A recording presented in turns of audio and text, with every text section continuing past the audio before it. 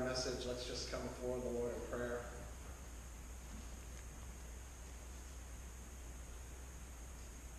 Lord, we come before you now to hear from your word, your truths, and the power within it that comes from you, from the Holy Spirit. Lord, move upon our hearts this morning. We thank you for your holy word. Amen. Well, good morning, church. Good to be in the house of the Lord this morning.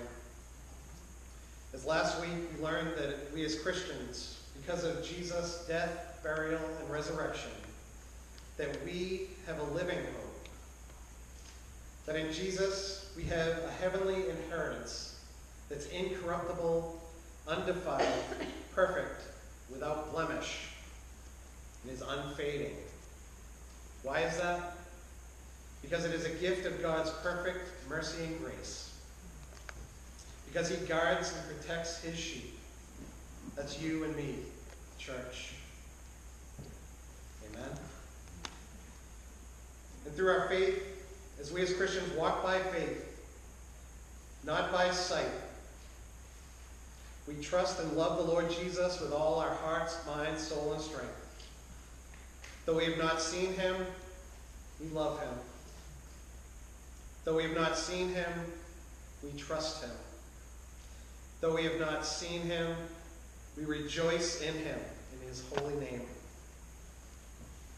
with indescribable, glorious joy, as we learned last week. The Apostle Peter, the author of the book we're going through, he was an eyewitness to all that Jesus had told him and did. He saw the miracles firsthand that we accept by faith, trusting in the Word of God, knowing that it is true because it was written on a first-hand account by all the prophets and the apostles chosen by God. 18 centuries ago, there was a young scholar studying philosophy. He was searching for truth. He studied Plato, Socrates, all the philosophies that this world had to offer. One day, this man, this young man, was walking along the shores of the Mediterranean Sea, thirsting after truth as the one great possession. He had sought to find this truth, as I said, from many, many sources, only to thirst again, never finding the truth. Till one day he met a man on this walk. This man, they engaged in a conversation. And that conversation changed the course of Justin Martyr's life. This unknown friend showed him how the philosophers of this world reasoned with truth. Whereas the Hebrew prophets in the Word of God spoke of truth as men who had been witnesses. This man pointed out to Justin Martyr how the prophets had foretold the coming of our Lord and Savior Jesus Christ and how their predictions were fulfilled in his life and work. So, taking the old man's advice, Justin Martyr commenced diligently to the study of the Old Testament prophecies and their confirmation in the Gospels, and was convinced beyond the shadow of a doubt that he had found the greatest truth ever told. A truth so powerful that he was willing to give his life for, which he did. Justin Martyr, one of the first martyrs of the early centuries of the church. Where we get the term martyrdom from. Church, are we willing, do we trust in the Word of God enough that we're willing to die for it? Do we search the truths that are so found in the Scriptures that the prophets foretold? That we can trust with our whole heart that Jesus Christ is who he says he was? King of kings and Lord of lords. In our scripture today, Probably we just overlook this scripture so many times, it's just we gloss over it. But it's such a profound, profound truth in just these three verses. Because Peter says, concerning our salvation, concerning our salvation, that the prophets foretold about, about Jesus, that we now see clearly, is what they told us about him has now been fulfilled. Peter here wants us to understand the importance of those prophets, those prophets whom God chose and spoke through that would point us to Jesus and the cross. Because verse 10 says, Concerning this salvation, the prophets who prophesied about the grace that was to be, to be yours, ours, they searched and inquired carefully. Peter in this verse is echoing what he was probably taught by Jesus himself when he appeared to the eleven disciples after the resurrection.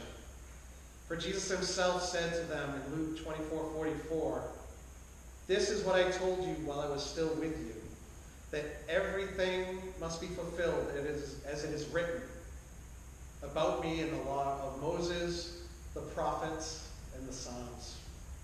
Did you hear that? Jesus is testifying about himself in the scriptures. Church, we must understand that the Old Testament is history, but it's also his story. His story alone.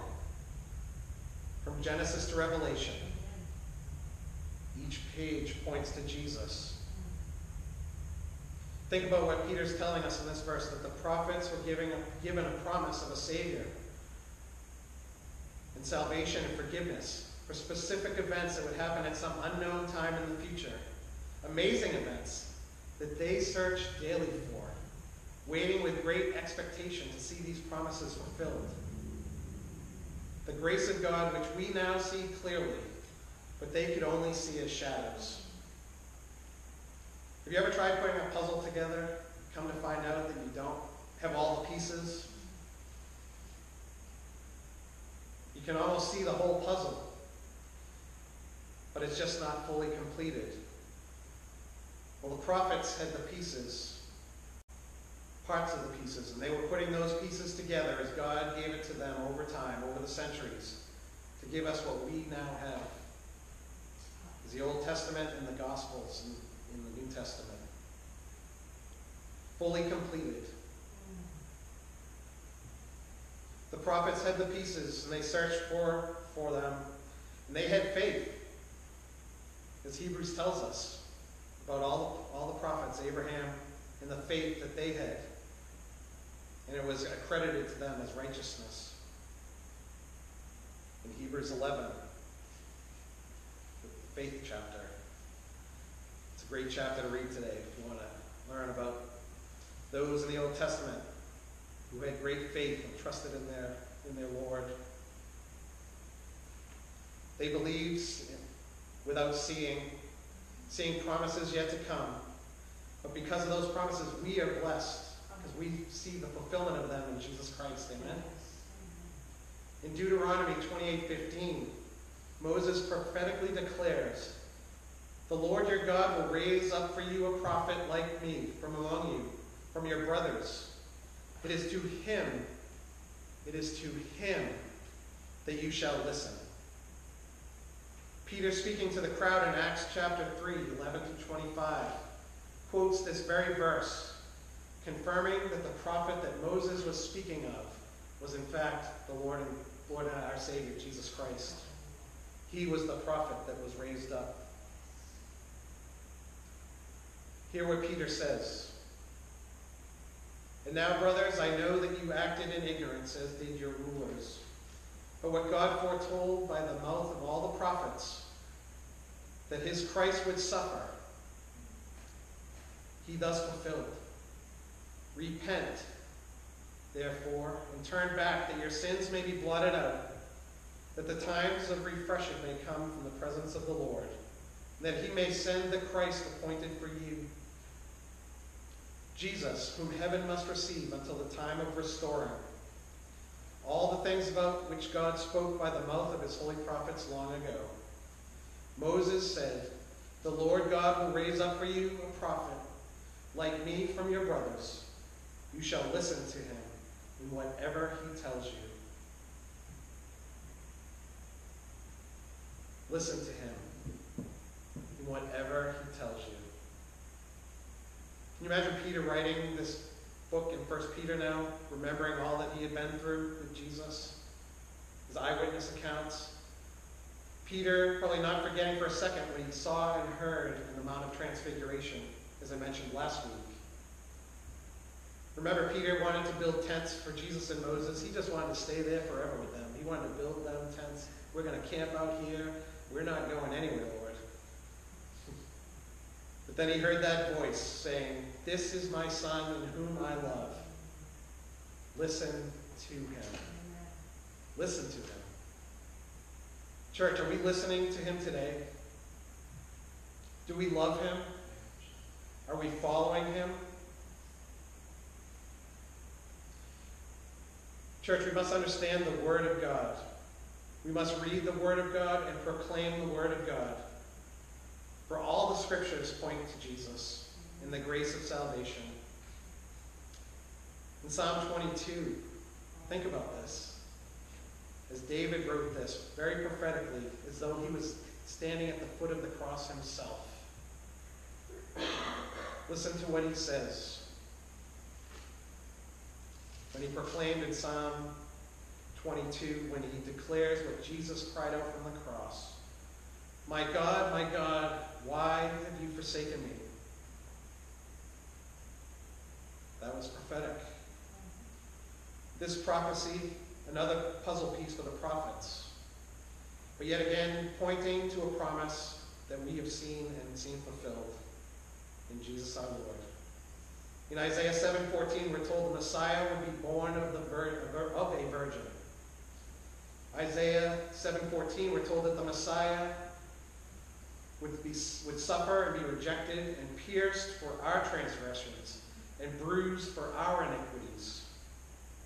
The prophet Micah, in Micah 5:2, the Messiah would be born in Bethlehem, O little town of Bethlehem.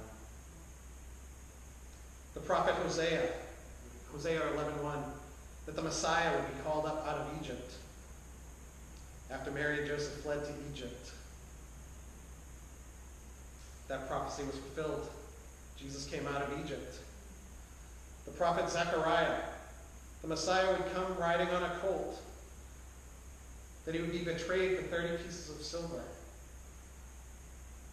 There are so many prophecies, so many prophecies, all fulfilled by Jesus to the letter. And these prophets, as they wrote them, they searched and they searched and they inquired just when this person, this Messiah, would come. Think of Ananias at the temple when Mary and Joseph brought him on the eighth day. He saw it. He was, he was watching. He knew what Scripture said. And he testified that this is the Messiah. And he praised God for that. Jesus says, so many prophecies, sorry, that Jesus came, that so many missed it. So many missed it when he came. And so many miss it today. So many are missing the truths today.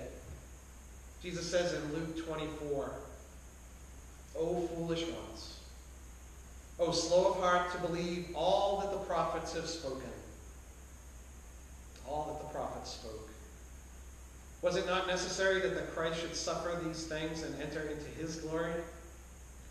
And beginning with Moses and all the prophets, he interpreted to them all in the scriptures the things concerning himself. Church, we have no excuse not to see the truth. In verse 11, in 1 Peter, it says, inquiring what person or time the Spirit of Christ in them was indicating when he predicted the sufferings of Christ and the subsequent glories. Peter here is just restating that the prophets were looking to the future, the future of a Messiah, always searching, always looking for this Messiah, using the prophecy and promises as to the time of his coming. Note also a very important point here that Peter is making about what the prophets said and wrote. It says in verse 11 that the Spirit of Christ was in them. He was in these prophets. Church, the prophets didn't invent their own thoughts and ideas about God. They were not saying, I think God wants me to tell you something. And I think it's important. But I'm just guessing. That's not what it says. No, what Peter here is saying that God spoke through these prophets with his words, that the Lord inspired. The prophets were speaking the very words of God, as if God were saying them himself. 2 Timothy 3 15 through 17 says, tells us about the sacred writings, the scriptures, the Word of God. It tells us the sacred writings which are able to make you wise for salvation through faith in Christ Jesus. All scripture is breathed out by God, profitable for teaching, for reproof, for correction, and for training in righteousness, that the man of God may be complete, equipped for every good work. All scripture is God. Church, don't let anyone tell you that the Bible is not the very words of God or that they're in some way in error. Because we serve a perfect, holy God who has written a holy, perfect word. The Word of God, as John tells us in John 1 1, that existed from eternity, from everlasting to everlasting. In the beginning was the Word. Peter's assuring us that God is the one who made the covenants. God made the promises to use through the prophets. So salvation, church, is not a man-made idea. It's an idea that God formed before the creation of the earth, before the foundation of the heavens. God had you and me in his heart and on his mind.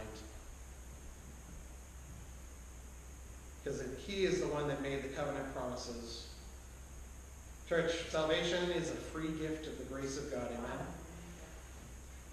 In verse 12, it was revealed to them that they were not serving themselves but you, you and me. When these prophets, when they spoke the things that have been told to you by those who preached the gospel to you by the Holy Spirit sent from heaven, even angels long to look into these things. All the events what the Israelites experienced in the wilderness were just examples for us, foreshadowings of what was to come, of what would be revealed in us.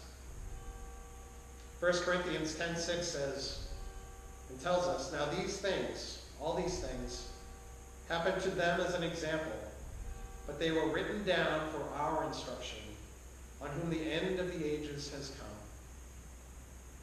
Church, we are in the final hour. Amen. We are in the end times, the yes. end of the age. When Jesus on the cross said, It is finished, that marked the end of the age and the final hour. And we're living in it right now. Amen. The only thing left to happen is for Christ to return. So, friends, what Peter's telling us in verse 12 Jesus fulfilled all that the prophets foretold for our benefit, the good news of the gospel that can now be preached, preached here in this pulpit, preached in all the pulpits of churches that love and trust the Word of God and uphold it and preach it and proclaim it. For the Word of God is the power unto salvation. As we know it says in Romans chapter 1, 16. In the Word of God, there's power. There is power in the Word of God. Power through the Holy Spirit, through pastors and evangelists, and each one of us. Ultimately, Peter makes this very clear that salvation is the work of the Holy Spirit on our hearts and minds. It's the Holy Spirit working through us who proclaims the good news of salvation. This is so amazing that even angels are amazed by what the Lord has done for us. So, what's the purpose of a prophet? The first purpose, purpose of a prophet is to allow God to lead and guide his people through him. The first prophet called was Abraham, who God promised to make a great nation through. God used Moses to lead Israel out of slavery in Egypt. He chose Ezekiel and Jeremiah. He chose David, a shepherd who would become a king. He chose Amos, a herdsman. He chose Elisha, who was just a farmer. And Daniel, who became a government, administrator in Babylon. All the prophets came from all walks of life. Their influence did not come from their education, their money, or their position in the society that they lived. They got their authority because they were chosen by God Himself to be His messengers. So a prophet is someone chosen directly and appointed by God to be His messenger. Second purpose, purpose of a prophet is to speak to the people the very words of God. When a prophet spoke, they did not speak by their own authority, but by the very word of the Lord. God spoke to Moses, he gave us the Ten Commandments. Hebrews 1.1 tells us that God spoke to our ancestors through the prophets. Today, church, we benefit from this through the written word of God, the Bible that we now have. And in it we see fulfilled what the Lord said through these prophets to the people. The third purpose of a prophet was to reveal God's plans. God used prophets to reveal his plan for redemption and salvation. Amen? And how God alone would restore a sinful people through his Son, Jesus Christ. Amos 3.7 tells us, For the Lord God does nothing without revealing his secret to his servants, the prophets. Through the prophets, God revealed his plans, but also his judgments, which leads to the fourth purpose. The fourth purpose of a prophet is to warn the people. That's the purpose of a pastor, too. To warn the people about God's judgment for what disobedience and turning away from him brings. Throughout the Bible, the prophets of God declared to the people that if they continued to turn their backs on God, worshiping idols, consulting mediums and spiritists and fortune tellers, that they would be judged by God. How many times do we see Israel fall into idol worship and engage in and accept evil of the world around them? Time and time again. How often do we see that happening in our day? The people have failed to listen to the prophets and the Word of God and what God was saying to them. And God judged Israel, sending them into exile in Babylon. Countless times we see they disobeyed and did not listen. The prophets in general were not very popular with the people because they didn't follow or say what they wanted to people wanted to hear. Many times they even killed the prophets. Jesus in Matthew 23 37 says some harsh words to Israel about how they treated the prophets. He said to them, O Jerusalem, Jerusalem, the city that kills the prophets and stones those who are sent to it. How often I would have gathered your children together as a hen gathers her brood under her wings, but you were not willing. See, your house is left desolate. Church, we need to know these things and follow God's word. We cannot be conformed to the ways of the world. We need to be the light, his church. So in closing, when we see the truth of God's word, when we know all that was foretold about Christ by the prophets, that was fulfilled in Christ, how do we respond? Do we fully grasp how blessed we are to be living in this time, in this place that God has put us? I know we often look to the past and wish for the good old days. That we go back to the way things used to be. But That's not what God wants from us. What God wants from us, what He wants from you and me, is that we faithfully preach and teach the good news of the gospel and share it with those around us. Understanding that we will be tested and tried and even hated for doing so. But Jesus told us that because they hated him, they will, we will also be hated. And that's okay. That is okay. Because remember, the truth of God's word is not something to be reasoned or thought of as just some good suggestions of how to live.